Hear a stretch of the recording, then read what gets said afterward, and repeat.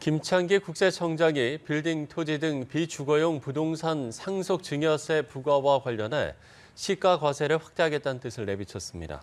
김 청장은 오늘 국회 기획재정위원회 국정감사에서 비주거용 부동산 시가 과세 방침 보완 필요성을 묻는 말에 객관적 기준을 정해 대회에 공개하고 예산을 더 확보해서 대상자를 넓혀야 할 것이라고 말했습니다. 역대급 세수 결손 사태는 세수 여건이 많이 어려운 상황이나 집행에 최선을 다할 거라고 답했습니다.